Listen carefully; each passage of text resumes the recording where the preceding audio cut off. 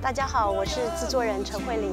我一直希望透过戏剧能够让观众看见台湾的美好，所以才有了二零一四年的雨后骄阳。二零一六年，请锁定台视七百岁旅程。我们为了圆满十个梦想，环绕了台湾二十圈，跑遍了台湾八十个美景，就是为了打造一段奇幻的旅程。敬请期待台视旗舰型八点档《七百岁旅程》。